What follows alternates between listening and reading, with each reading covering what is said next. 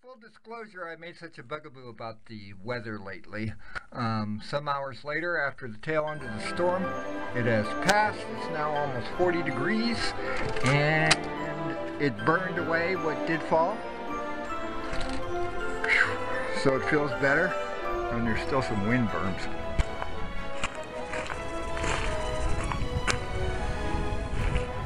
With a couple sunny days forecast coming up.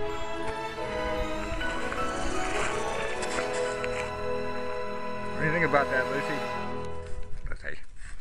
Hello, Bun. Come get one, Bun. Come on, Bun. You can do it. Doink. There you go. Enjoy the sun, Bun. I feel much better now.